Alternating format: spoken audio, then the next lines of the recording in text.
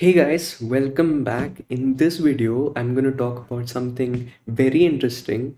Um, so basically, let me just share my screen.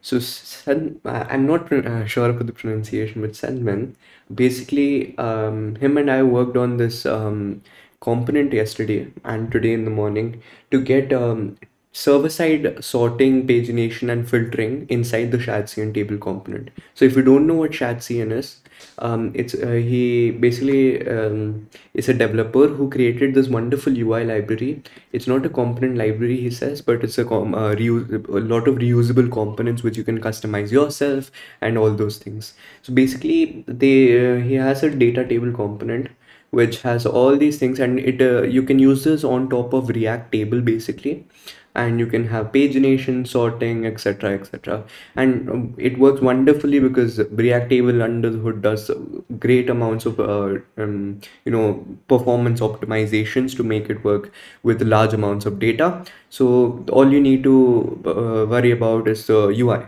and that uh, this comes in there and in one way you don't need to do anything. Um, so basically, a few days ago, even I released this video on server-side uh, pagination inside uh, React table over here. So you can click on the video over here. Um, but basically, in this video, uh, we uh, talked about it, and basically he had this um, tweet and he talked about uh, how a lot of people actually wanted this so uh, i reached out to him and said i could help if you want um, and we built this and it took about a day uh, because of some weird issues here and there but we took that long so that you don't need to take that long anymore by yourself. So to start off with i'm just going to uh, go into how this looks and i think yep this is the one. So let me just go and open this from scratch so that you can get the whole um, you know view of how this looks. Basically this is a basic react table and this is the example which shad has over here as well in the tasks table. But basically if you look at this um, this is all done on the client side and all the data is loaded first itself. Uh, so to fix that what well you can do a lot of things to fix that but we wanted to still do this on the server rather than uh, fetching data on the client again right? So to do that what we uh, did was well i'll go into the details later but basically uh, you can if you look at this say i go to the next page over here. Let me just zoom in. Uh, and i don't think you can see my right inside so basically if i go to the next page over here see how this uh, page changes and per page is well 10 it was in the first case as well but um, it's added over here. So basically this changes and based on this search param uh, this whole table is rendering new data. So I can go to the next page, page number will change to 3, etc. I can change rows per pages, the page per page will change to 40. If I have say the sorting, I sort by ascending of title, it says sort is equal to title dot ascend. I can have all these um, over here. And I can also have filtering. This is what took us a lot of time. But basically if you select these two it will filter a status and so it state checks status to to do dot i in progress. Um, so basically to do and uh, in progress and you can also have search uh, say connect. So it will filter based on connect and it also has debounce uh, on the input. So uh, not a lot of re-renders will happen. It will wait for you to stop typing basically um, so all this is what uh, is done under hood um, under the hood and you don't need to do any of this all you need to do is basically just um, you need to let me show what you need to do so all you need to do is do this basic columns uh, like you would do in react table these are the columns which you're setting over here and all you need to do is just call data table component. You're passing in the columns and the data. This data, uh, basically the data, you know, uh, fetching and da uh, data and all you will have to manage by yourself. Uh, but basically how that is done is, I'll just go into it shortly, but uh, we are taking the search params, page per page, sort, title, status, priority, all that uh, we're getting limit uh, all this uh, a little bit of this I've covered in my previous video about pagination so you look, can look at that uh, we have the offset, the column and the order for the sorting, um, the statuses, uh, all this basically for filtering. Um, well, all this data is managed by yourself, so you will have to do this. And we have done some filtering with Drizzle ORM over here. If you're using Prisma, you can use that or SQL, whatever. So basically, all we're doing is passing that data over here and the page count and in the uh, over here we're passing the page count to data table. We want columns data and page count. Now these two are the main part because we were debating about the right way you know the good api to do this. Uh, we came uh, we had a few ideas. We, uh, like um, we had one idea about type checking just checking the type of the uh, well having this filter function and checking the type. Say if it was an enum we will do a filter um, or if it was a string we'll do a um, search instead.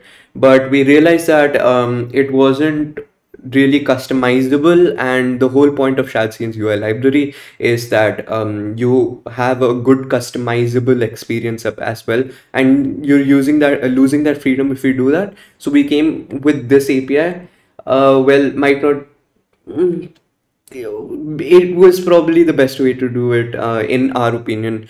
Um, but basically we need to pass two uh, props over here. You can just not pass these and you will not have any we, you will not have the search and the filter field.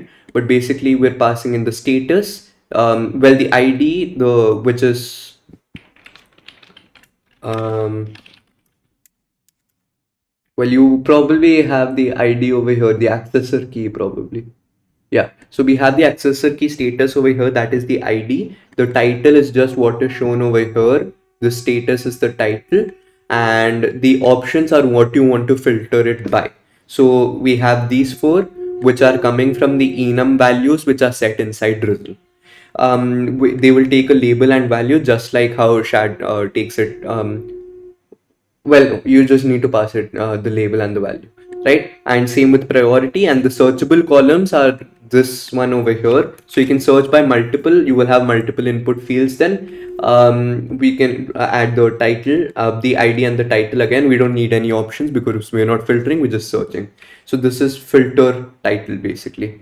Um, so I wouldn't go too into detail on how this works under the hood, but I just wanted to still show you guys what uh, we're doing a little bit and all this is open source. You can go inside the repository and look at this over here as well. I will link it down in the description.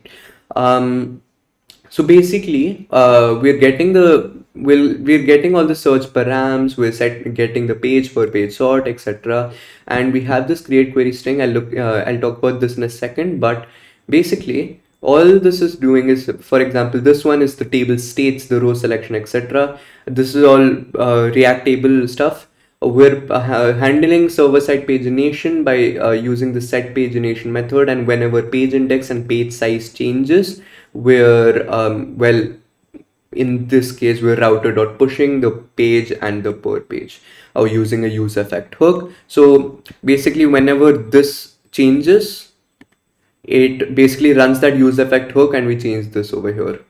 That is what uh, that is doing and we're getting the create query string and this is just a um, basically a callback hook uh, which we created which uh, him he created uh, but yeah. Um, so that was about uh, pagination. The sorting is some very similar. Uh, the main part was filtering where we had to do a lot of this took us a while to get this working because we wanted it to debounce and also the fact that um, all the tables will have different columns so we had to figure out the right way to do that that's where the prop came in the filterable column and the searchable columns and basically a lot of um, well the debouncing the columns the filtering and then uh, setting the create query string accordingly. Um, I won't go too much into detail of how that is working. You can always look that up but all we're doing under the hood is again doing taking the table the table header all these things and then setting this up over here. So to use this you don't need to do anything. Um, well you do need to do something but uh, it's a lot less work than uh, if you had to set this up yourself. I'll just go a little bit into how you could set it up and after that you could set it up by yourself. But um, i will create a new next.js app first of all I'll do this very, very quickly. Test data table chat. All right. Um, would you like to use TypeScript? Yes. ESLint is fine. Tailwind CSS is fine. SRC is fine. App router is fine. I don't want to uh, change that. Uh, let me uh, get that in a second or two but basically uh, all these things are just um, uh, not needed you can just look at the data table components and well he had uh, this is these components are what he's using in his example as well we just changed it to work with server side oh that was done quickly npm things test data table chat all right um, first of all, I'll just get Shadcn UI library working really quickly. Go to documentation, installation, Next.js. Let's get that working. pnpm dlx Shadcn dash UI at latest init. Not sure why I repeated that, but yes. Um, I'll use TypeScript. Uh, you can use any, doesn't matter for us. We're just uh, rendering out the table component from your components itself. So we'll need to install that as well. But say we use um, New York uh, default is fine, Slate is fine. I, this is inside src slash app slash css. Um, sure, tailwind.config. Uh, that is fine. That is sorry. That is fine. And I'm using rsccs, and we can set the components.json. So in a second or two, uh, it will just uh, get those up and running. And we need a few uh, components uh, to get this working with our uh, data table uh, so what you need to install is pnpm dlx all these things over here. You need the badge the button the checkbox the command dialog drop down menu input popover select separator and table. Uh, these are what are being used over here. You can well look at the components which are inside over here. Uh, components slash ui and all these components are what you will need as well. So uh, let me just install that. Might take a little bit longer. Um, but basically let me just install the dependencies as well. It will install the dependencies from radix ui and then copy the components file into the right directory which you need. And uh, well yeah that's about what that does. Let me just wait for a second or two. It has reached dialog. Five more left. So yeah that is about well how that works. Let me just get that up really quickly. I won't show the final implementation because i'll have to set up my database and stuff. You can look into the repository on how it works.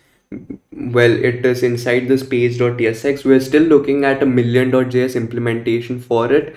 Um, so if that comes up i'll let you know about that as well. But basically we're having this task table shell which is over here and that is what is rendering data table and the data um, you know fetching is done inside pages slash index.tsx sorry app slash page.tsx so yeah that is done. So now if i open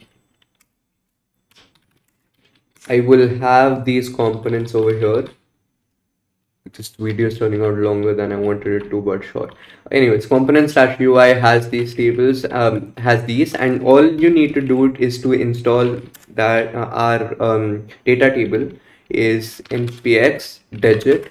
So degit is basically a library to get uh, git subfolders into your repository. So basically, what I want is this copied, then go into the src directory. Then go into the app directory. Sorry then go into the components directory and the data table directory. But I can't run this over here. What I want to do for that is um, let's go into src and components. And I will make you can go into the UI and make it but wherever you want to just get that. And I will go into the data table component. Um, so over here I will run that command again. And that should get uh, all those files which are needed over here. So all you need to do then is wherever you want this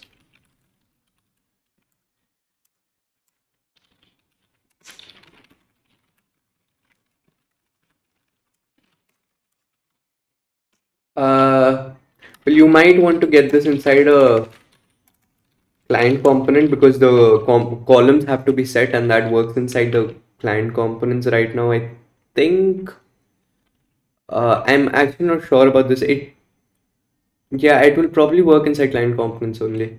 Wait, does this, is this a client? Yeah, okay. Um, you might want to check that up. I'm not sure about it, but basically, let's have a table dash component.tsx and have a use client export default function table component return and this is where you will have the data table and these take four properties. Over here the data the columns the page count filterable columns searchable columns. That's five properties sorry. But the filterable columns and searchable columns are optional. All the other three are mandatory. So you can pass the data by doing something like this. I'm not going to do this right now because I will have to set up a whole database to make this work right now and drizzle basically. But um, you can look at how this um, ordering and filtering is done and get that data over here. And the columns basically are just what you would pass inside a basic react table column. Um, columns and you can memorize it uh, to um, disable re-render on every render basically and get the columns working. And what else was needed? The page count you can get from the data you're getting all right? Uh, and the other two are obviously optional. You don't need to pass those by default. Uh, you won't get any to filter and search. So that is it.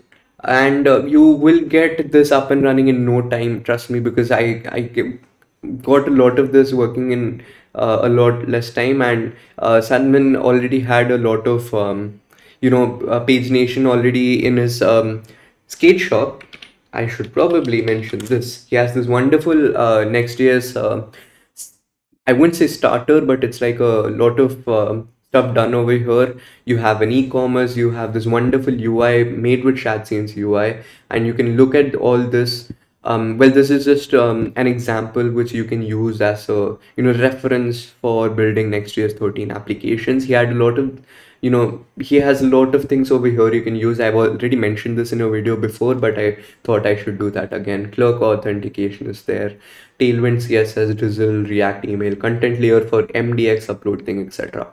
Um, so wonderful uh, reference for wonderful Next.js 13 things and he had built that table uh, a few things for that table already we got that working in no time and that filtering and searching has took us a while to get it running but now that that is done you can you are free to use it and you're free to create prs as well if you want.